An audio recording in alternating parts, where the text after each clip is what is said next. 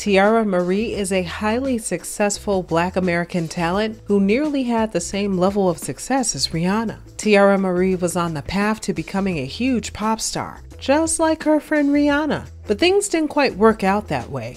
Despite having some success early on in her career, Teairra ultimately fell short of the superstardom she was chasing. This is a story of how one woman's dreams were dashed by heartbreak, disappointment, and ultimately abandonment.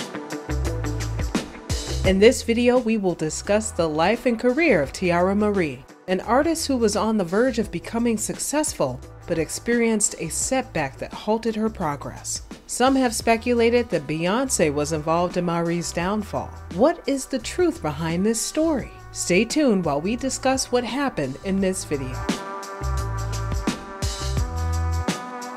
Teairra Mari was born in Detroit, Michigan on December 2, 1987. She is of African American and Native American descent. Teairra Mari began singing at the age of 16 and recorded a demo with a local production company. This led to an audition in front of Island Def Jam Music Group chairman Antonio L.A. Reid. He was impressed by her vocals and signed her immediately.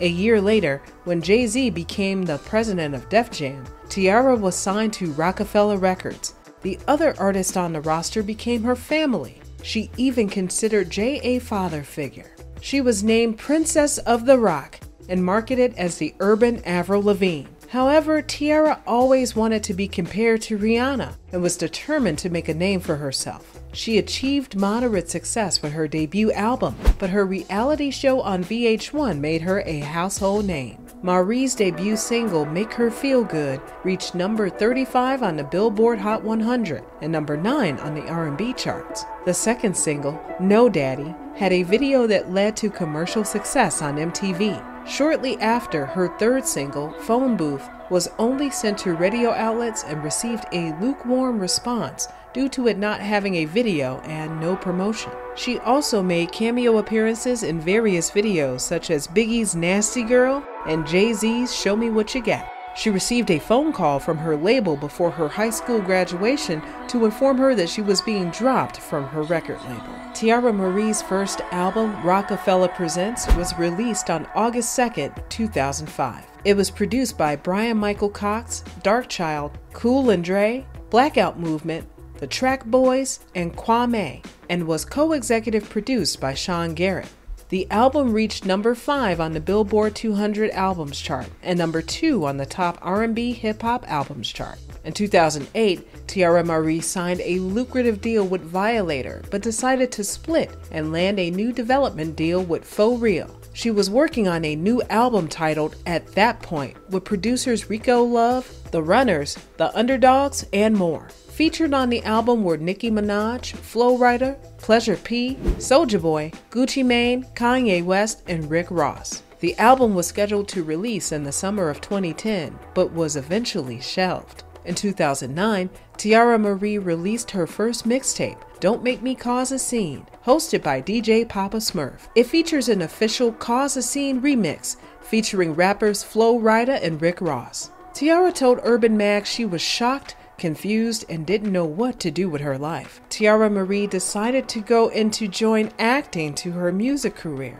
She appeared in the magnificent Coolie T and 2010's Lottery Ticket, playing opposite Bow Wow. The cable network Up premiered her in The Dempsey Sisters with Lynn Whitfield, Denise Lawton, and Clifton Powell. On August 17, 2010, she released her second mixtape entitled Point of No Return. The mixtape contained leaked songs like I Know It's You, Coins, Find My Way Back, Holla, and a song intended for the album called Lights Go Down. She released four music videos for some of the songs she covered for the project. She released Sincerely Yours, a digital EP released via iTunes. It features songs made for At That Point that had not leaked Emergency, Operator, and Might Get Lucky. She performed Body on The Mo'Nique Show. The Night Before Christmas features a Devil in a New Dress remix by Kanye West with Rick Ross and Mr. Vegas' ballroom reggae song, Boy Shorts. Teairra went into the studio with Rico Love in early March 2011 to work on new music for her album. A snippet of a song is heard in a clip of them recording the first single from the album, That's All Me, which features Rico Love. The song samples one of Diddy's early hits, and it's all about the Benjamins. Mari performed the new song for the first time at R&B Live in Hollywood. You Did That was later released as the new first single from Teairra's second album. It was written and produced by Rico Love and co produced by D Town. Mari said the single would go for radio ads sometime in January 2012. The song was later remixed featuring rapper 2 Chainz, and the music video was shot. Teairra Mari dealt with a difficult hand early on in her life. Not long after she graduated from high school, her mother had a stroke, which left her unable to communicate. On top of that, it was reported that Teairra's mom had given birth to a baby, which led to stroke after childbirth. This caused a lot of strain in Teairra's family, and many of her co stars including Moniece Slaughter, believed she was self medicating to deal with the situation.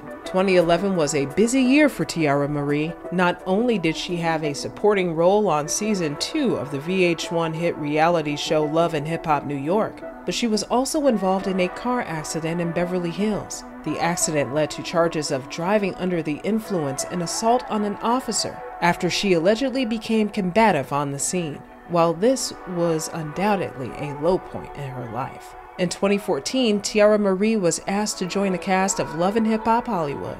Her tumultuous relationship with Ray J was front and center on the show. Over the course of the series, viewers saw Teairra struggle with several personal issues. Teairra eventually agreed to enter a rehab facility and committed to maintaining her sobriety. Teairra Mari's public humiliation started when she took legal action against 50 Cent and her ex boyfriend Akbar Abdul Ahad in May 2018, accusing them of releasing racy photos and videos without her permission. However, a judge dismissed the case in January 2019, with Teairra being ordered to pay 50 Cent's legal fees of just over $30,000. Teairra made it clear that she didn't have the means to pay this debt in a diss track entitled I Ain't Got It. And as a result, her debt increased. In an effort to collect the $50,000 debt, 50 Cent's legal team questioned Teairra about her finances, to which she revealed her minimal income.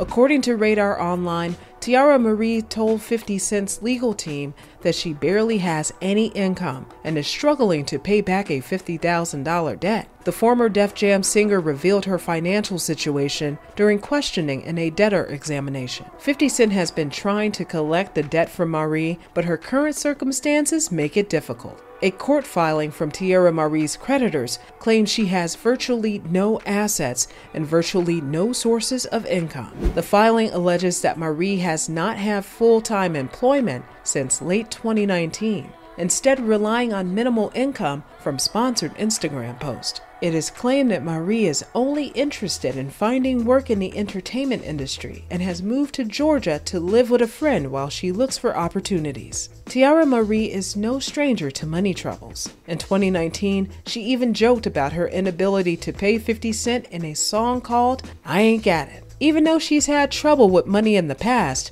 Teairra Mari works hard to get her finances in order. In the song I Ain't Got It, she joked about not being able to pay 50 Cent, but now she's agreed to a payment plan to help her get through. It's also worth noting that Mari has been embroiled in a number of personal controversies over the years, which may have contributed to her decline in popularity. In 2012, she was arrested for DUI. In 2014, she was involved in a highly publicized domestic violence incident with then boyfriend Ray J. These incidents likely made many fans lose respect for Mari and made it difficult for her to recapture her earlier success. The life of Teairra Mari has been full of ups and downs. From being on the brink of superstardom to struggling with addiction and legal troubles, she has certainly had her share of challenges. However, Mari is working hard to get her life back on track. She has entered rehab and is committed to sobriety, and she is also working to pay off her debt to 50 Cent. While it remains to be seen whether Mari will be able to regain the level of success she once had,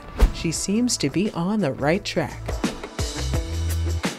Thanks for watching. I would appreciate it if you could like, share, and comment on the video. Also, please subscribe to my channel and turn on notifications so you don't miss any future videos. See you next time!